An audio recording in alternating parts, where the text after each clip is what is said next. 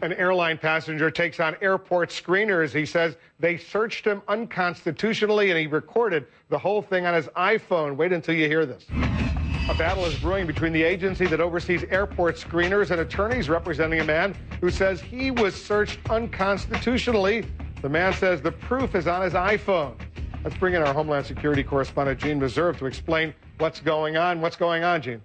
Well, Wolf, the American Civil Liberties Union is suing the Secretary of Homeland Security, saying uh, that uh, that uh, over what it calls unlawful searches and detentions at airports. The potential evidence is a tape recording of TSA screeners.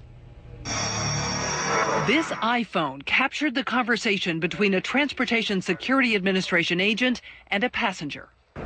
I'm just trying to ask some questions to figure out what all this is about so I can get you on your plane but you won't play smartass, and I'm not going to play your. The agent was talking to Steve Bierfeldt. He works for the Campaign for Liberty, an outgrowth of the Ron Paul presidential campaign, which promotes constitutional rights. Bierfeldt was flying out of St. Louis when screeners saw this cash box in his carry-on. At the time, it contained about $4,700, proceeds from the sale of political items.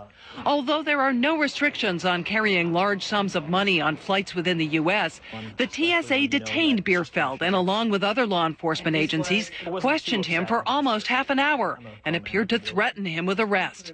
Unaware, the phone in Bierfeldt's pocket was capturing every word. The question is, why do you have this money? That's the question. That's the major question. Yes, sir. And I'm asking if I'm legally required to answer that question. Answer that question first. Why do you have this money? Am I legally required to answer the question? Uh, so you refuse to answer no, the question? No, sir, I'm not refusing. Well, you're not answering. I'm simply asking my rights I'm under the law. Swearing at me, cursing at me, uh, threatening to handcuff me, take me to the DEA and the FBI, uh, just the inconvenience. Uh, no, that's it's not with the bounds at all. The TSA says an agent has been disciplined for using inappropriate tone and language, but said in a statement, a passenger who refuses to answer questions may be referred to appropriate authorities for further inquiry. The ACLU says Bierfeldt did not refuse to answer questions, and his detention and questioning violated constitutional protections against unlawful search. TSA believes its passenger screening is an opportunity to engage in freewheeling law enforcement investigations that have no link to protecting flight safety.